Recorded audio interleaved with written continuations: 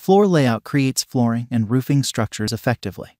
It is most useful for non-rectangular floors that contain one or more openings that split slabs into many pieces.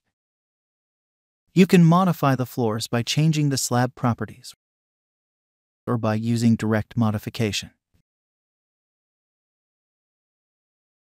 You can use floor layout to model structures such as double T,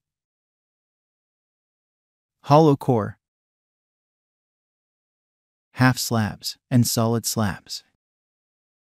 The structure may contain several layers, such as precast slabs, insulation, and a cast-in-place topping. Here, in this example, we can see that floor layout creates floor structures that have layers. For example, a half slab at the bottom and a cast-in-place topping.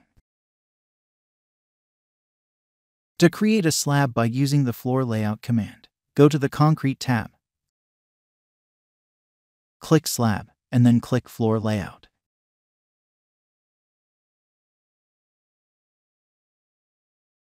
Let's start by picking the corner points of the slab.